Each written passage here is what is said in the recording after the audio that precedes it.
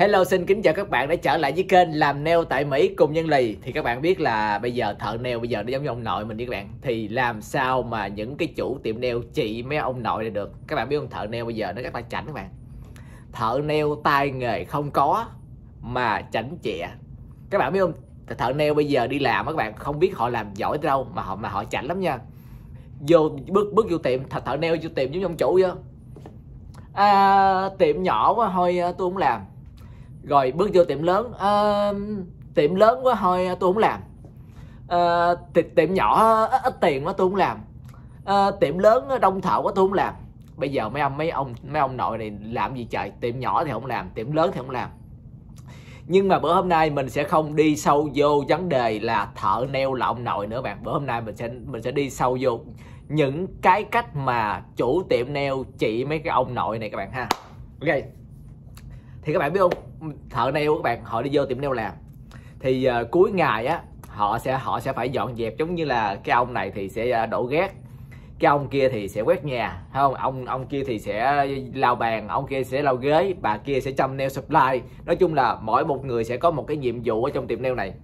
Nhưng mà những cái người người thợ nail này các bạn mình đã nói là họ là ông nội mà.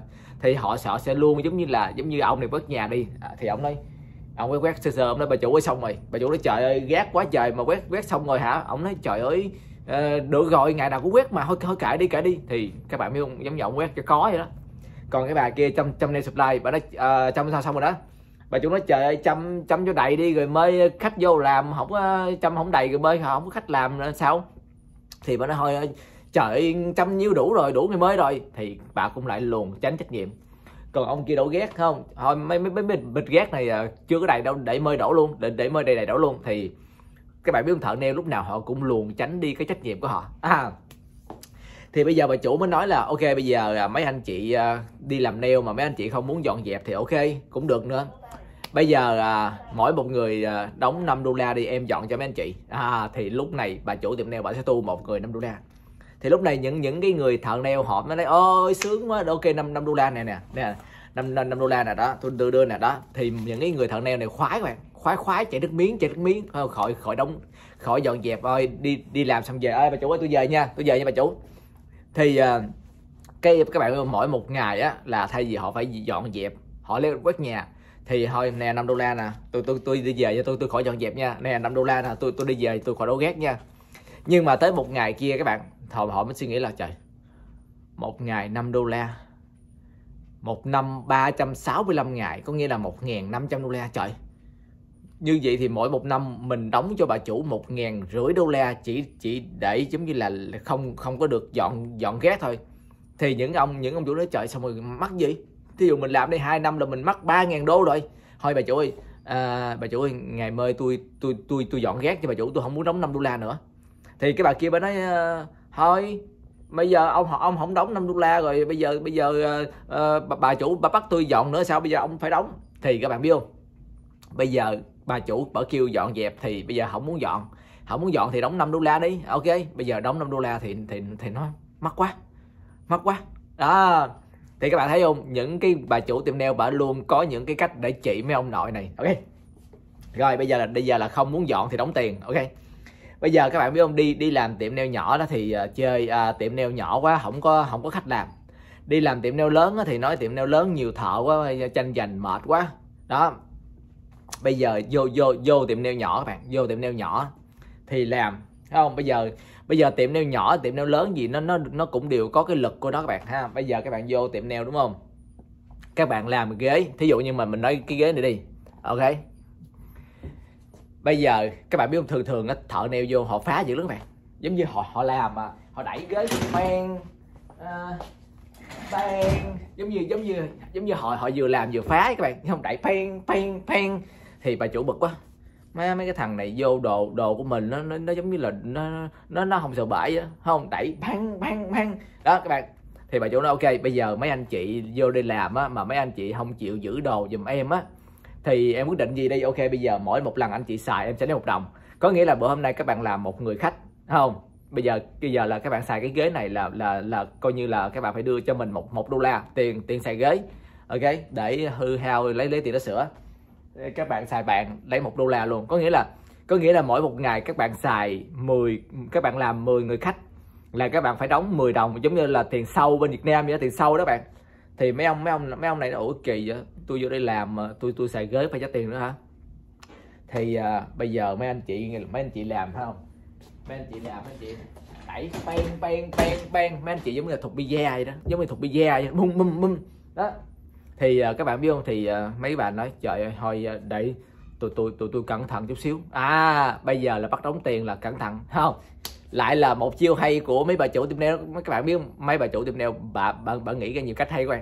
Đây, rồi các bạn biết không? Bây giờ bây giờ là vô vô tiệm nail là các bạn xài ghế là là tính đồng, ok? Xài bàn là tính đồng, ok? Bữa nay các bạn làm 10 10 người 10 người khách làm chân là các bạn phải, các bạn bị trừ 10 đô la tiền tiền xài 10 10 lần ghế. Các bạn xài 10 lần bàn là các bạn trừ thêm 10 đô la nữa là 20 đô la, coi như là, coi như là bữa hôm nay các bạn mất 20 đô la tiền xài bàn, xài ghế rồi.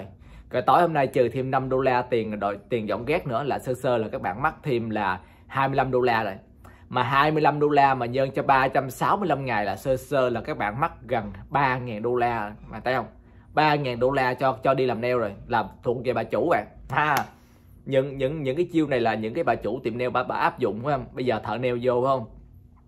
Ông à, không muốn dọn dẹp đúng không? Đóng 5 đô la đi.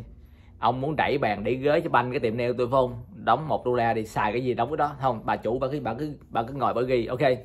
Bữa hôm nay anh làm 10 người khách không?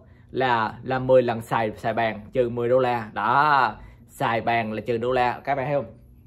Rồi, chưa nha chưa nha. Bây giờ là, bây giờ là đủ hết trơn các bạn, không? À bữa hôm nay can đi đi làm trễ không? Anh làm trễ trừ một đô la. Bữa hôm nay anh đòi về sớm, đúng không? Trừ một là la, các bạn biết không? Thì thường thường á, các bạn biết không? Người người người Việt Nam của mình á, họ họ khôn. Không không có ai, không có ai thua ai chứ, không có ai thua ai chứ thì uh, các bạn biết không những cái tiệm nail nhỏ đó thì họ không có mặc đồng phục các bạn. Giống như tiệm nail nhỏ mà mình mình làm ăn nhỏ thì mình chơi theo kiểu nhỏ đi. Rất là thoải mái không? Các bạn muốn mặc đồ sao các bạn mặc. Nhưng mà những cái tiệm nail lớn á, là họ phải mặc. Thường thường những cái tiệm nail lớn á, các bạn họ họ rất là thích mặc áo màu đen các bạn. Nhìn rất là lịch sự ok? Thì uh, những cái người Việt Nam mà đi làm cho những cái tiệm nail lớn á, nói là à, à ông ông ông chủ ông chủ. Ngày ngày mơi tết việt nam á tôi không mặc đồ đen nha tôi mặc đồ, đồ đỏ nha tôi nói trước rồi đó. Ờ, ông chủ nói ok ngày mai à, ngày mai tới việt nam chị không mặc đồ đen đúng không? Chị nghỉ ở nhà đi, ngày mốt chị hãy đi làm. Cây à, các bạn biết không? Các bạn làm ở tiệm nail nhỏ đó thì các bạn muốn mặc đồ sao các bạn mặc.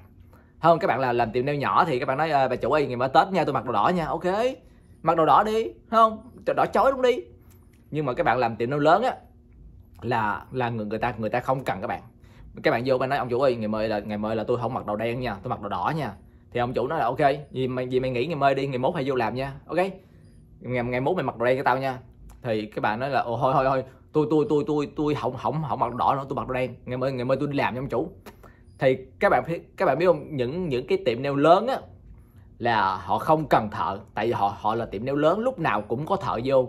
Những cái tiệm nail nhỏ là họ cần thợ cho nên họ nhún nhường chút xíu. À, chị muốn mặc đồ đỏ chị muốn mặc đồ đen chị muốn mặc cái gì cũng được chị ở chuồng cũng được nữa. Tiệm nail nhỏ thì nó gì tiệm nail lớn không? Chị không muốn mặc đồ, đồ đỏ hả? Chị muốn mặc đồ đen hả? Chị không muốn mặc đồ đen hả? Chị ngày mai chị ở nhà đi đừng lên. Ngày mốt chị hãy lên. Mà ngày, ngày mốt chị lên chị hãy mặc đồ đen nha. Đó. Thì những ông chủ tiệm nail lớn rất là khó. Cho nên khi mà các bạn suy nghĩ giữa tiệm nail lớn và tiệm nail nhỏ đó các bạn suy nghĩ là không biết tôi nên làm tiệm nail lớn hay là tôi nên làm tiệm nail nhỏ đây ta? Thì các bạn hãy nhớ là cái cái sức của các bạn là là ở đâu. Các bạn biết không? Nếu mà các bạn không có cái đầu bự á, thì các bạn không nên đội cái nón to các bạn không có cái tay nghề cao á hay là các bạn không có cái tay nghề giỏi á thì tốt nhất là các bạn nên đi những cái tiệm nail nhỏ các bạn làm không các bạn không có tay nghề lớn á, mà các bạn các bạn không có tay nghề giỏi á mà các bạn vô mấy cái tiệm bự á, nó thực sự các bạn làm không nổi người ta không mướn các bạn à thì đó chính là lý do tại sao những cái tiệm nail nhỏ này vẫn còn tồn tại các bạn những cái tiệm nail nhỏ vẫn còn tồn tại và những cái tiệm nail lớn vẫn còn tồn tại đó cho nên các bạn biết không? Nói chung là cái tiệm nail thì lúc nào các bạn cũng cũng lời cả đúng không? Tiệm nail nhỏ thì lời nhỏ tiệm nail lớn thì lời lớn. Nó nó, nó đỡ hơn là đi làm công cho người ta đúng không? Còn các bạn đi làm công mà các bạn kén cá chọn canh kén cá chọn canh không? Không có tay nghề bao nhiêu mà đi vô chén kén cá chọn canh. Bước vô tiệm nail trời đi đi xin việc làm mà mà mà còn hơn là ông nội người ta nữa. Bước vô tiệm nail. À, trời ơi tiệm nail ờ, tiệm nail chị ờ, có khách không vậy? Trời ông nội ơi không có khách ờ, tôi, tôi mướn mày vô làm chi?